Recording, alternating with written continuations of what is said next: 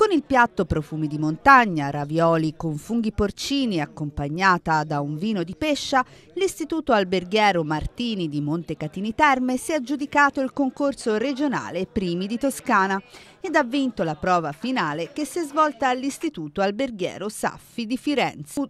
Secondo, l'Istituto Foresi di Portoferraio con la sburrita elbana. Terzo, con la ribollita, si è classificato invece l'Istituto Artusi di Chianciano.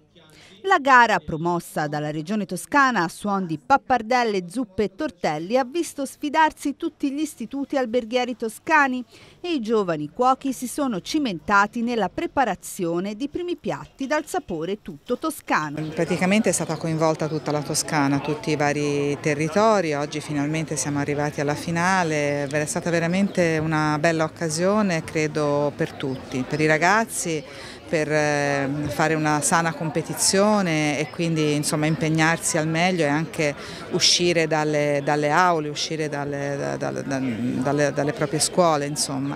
ma anche per, per, chi magari non frequenta le scuole tutti i giorni, cioè entrare, penso ai giurati, penso insomma, a tutti noi che, che oggi siamo qui a vedere di cosa sono capaci i nostri ragazzi, è l'occasione proprio per capire come, come, si lavora a scuola, altrimenti della scuola emergono solo magari le cose negative, invece tanto, eh, ci sono anche tante cose belle e, e si lavora con professionalità per formare professionalità. Ai primi tre istituti classificati, oltre al Pegaso della regione toscana, sono andati altrettanti laboratori professionali, sia ai ragazzi che ai docenti messi in palio dalla scuola di alta professionalità Tessieri di Ponzacco. A tutti gli istituti che hanno preso parte alla sfida finale invece è andato un attestato di partecipazione e delle pubblicazioni in materia enogastronomica. È stato un momento di scambio e confronto con le altre scuole, con la regione toscana e di valorizzazione di quello che offre il territorio, le nostre materie prime, quindi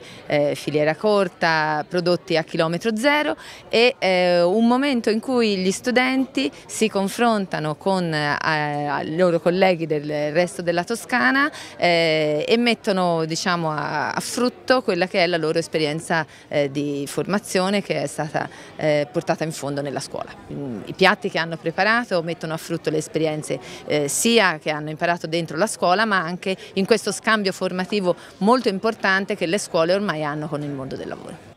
Un concorso che ha voluto sottolineare la sinergia tra scuola e lavoro con uno sguardo al futuro dei giovani allievi degli istituti alberghieri e della ristorazione toscani. Eh, la scuola è il luogo del sapere, della conoscenza, storia, italiano, matematica e geografia, solo che ci siamo dimenticati che la storia della formazione e dell'educazione, e quindi della scuola italiana, fino a qualche decennio fa era anche saper fare, quindi competenze.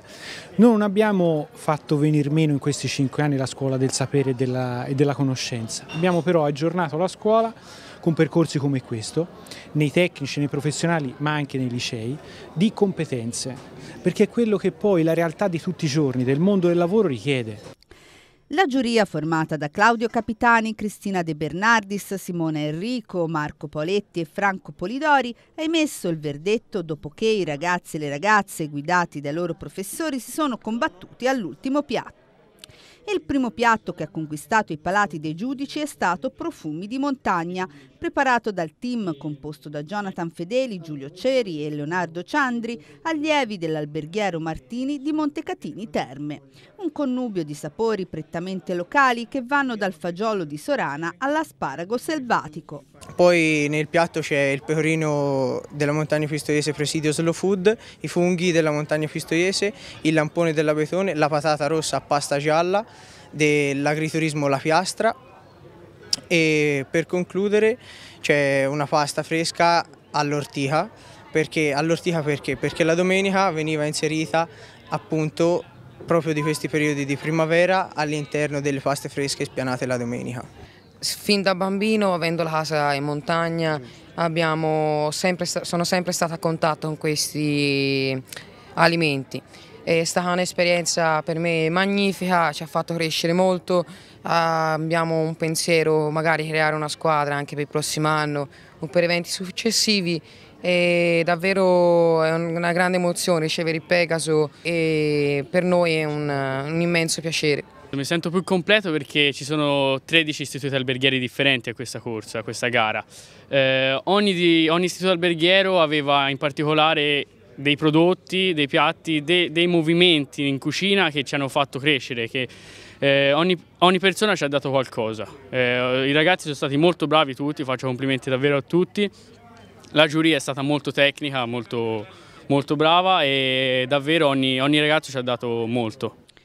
Primi di Toscana è stato un campionato che oltre a valorizzare le scuole alberghiere toscane nell'anno internazionale del cibo italiano nel mondo promosso dall'ONU, è riuscito a rendere protagonisti tutti i territori della Toscana e i loro prodotti tipici e unici, piatti semplici e talvolta poveri, altre volte più elaborati, comunque in grado di unire tradizione ed innovazione. È noto che ormai gli alberghieri rappresentano la nostra eccellenza, che valorizzano il nostro territorio, i nostri prodotti e la nostra economia. È anche noto che i ragazzi che frequentano gli alberghieri devono trovare non soltanto la soddisfazione del lavoro, ma anche la possibilità di mettersi a confronto, in gioco, eh, dare il meglio di sé. Queste manifestazioni in pratica raccolgono queste esigenze e noi dobbiamo ringraziare anche oggi particolarmente la Regione Toscana perché ha avuto l'idea di condurre questa bella iniziativa e abbiamo assistito anche a una bellissima giornata cui, della quale ci rallegriamo con i docenti e i nostri ragazzi. È stata veramente una bellissima esperienza, un'esperienza di lavoro, di entusiasmo e anche di creatività dei nostri insegnanti, dei nostri ragazzi che hanno dimostrato di meritare benissimo quello che poi sarà il progetto di vita, cioè diventare dei grandi chef e degli esempi per gli altri ma adesso la Regione Toscana sta pensando di allargare questo tipo di concorso ad altri istituti. Siamo partiti dall'enogastronomia perché naturalmente questa è anche una filiera strategica della nostra regione, abbiamo prodotti di eccellenza, ma delle sane competizioni su questo modello abbiamo intenzione di idearle, di metterle in campo anche su altre filiere produttive sempre importanti per la nostra, per la nostra regione, per valorizzare anche tutta la filiera eh, tecnico-professionale che ha poi la, il suo vertice negli istituti tecnici superiori che è così importante per formare quelle professionalità che le nostre imprese richiedono e che non sempre trovano. Al termine di questo concorso, che ha visto partecipare gli istituti alberghieri di tutta la Toscana, è stato stampato il volume Primi di Toscana, un ricettario dei piatti proposti durante il concorso, non solo quindi le finaliste, per essere poi presentato al Salone del Libro di Torino.